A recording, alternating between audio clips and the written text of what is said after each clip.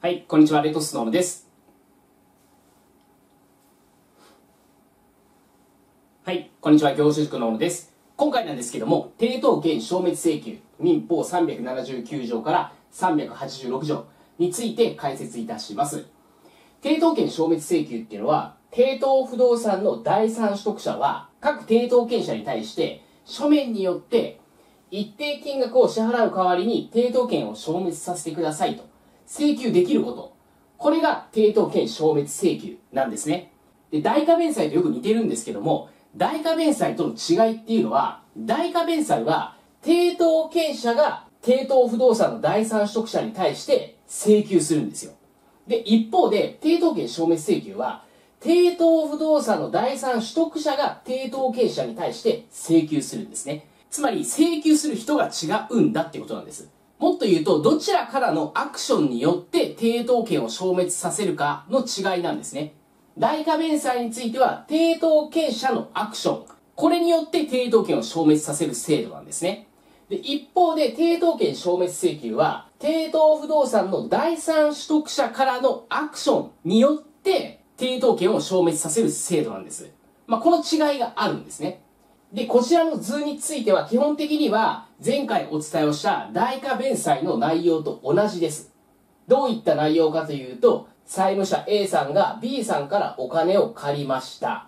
で、B さんが債務者 A が所有する不動産に抵当権を設定したと。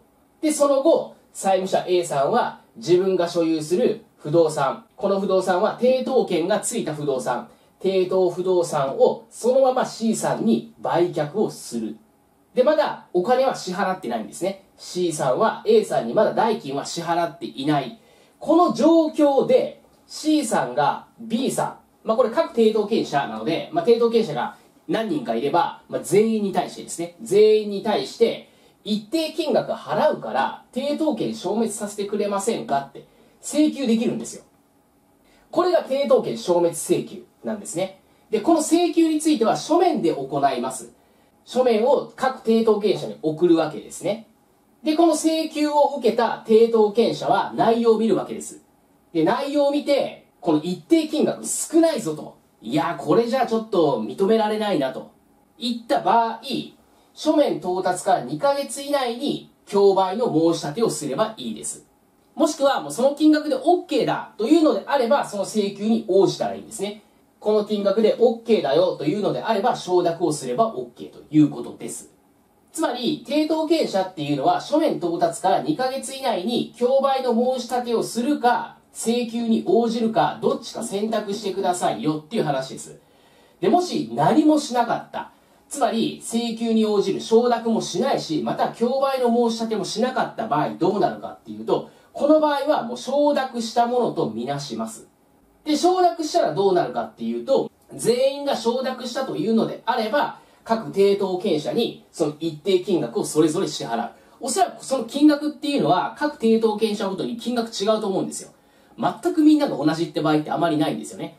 その、非担保債権の金額によって変わってきたりするので、まあ、大体が違います。まあ、つまり、えー、抵当不動産の第三取得者 C さんは、承諾してくれた金額をそれぞれに払うわけですね。で、払うことによって抵当権は消滅するよと、まあ、いうことになります。で、抵当権者の誰か一人でも、これダメだと、承諾できないっていうことで競売にかけられたら、C さんは代価を払うことなく、もう競売の流れに入っていくと。競売手続きに入っていく。という流れになります。で、ちなみに、この抵当権消滅請求ができない人っているんですよ。これ、例えば、保証人です。A さんは B さんからお金借りましたよね。で、もし C さんがその保証人になっていたと。で、保証人 C さんが債務者 A さんから抵当不動産を買った場合、保証人 C は抵当権者に対して抵当権消滅請求をすることはできません。で、なぜかというと、保証人っていうのは債務者なんですよ。抵当不動産を買うお金があるのであれば、そのお金で抵当権者、まあ、つまり債権者にお金払えよと、弁済しろよって話なんですよ。つまり、このような抵当権消滅請求という権利を保証人に与える必要性はないということで、保証人は抵当権消滅請求はできませんよ。という話です。まあ、この点は注意点として頭に入れておいてください。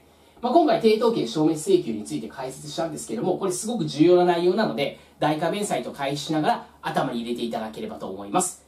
今日も最後まで動画をご覧いただきましてありがとうございました。宅建合格目指して一緒に頑張っていきましょう。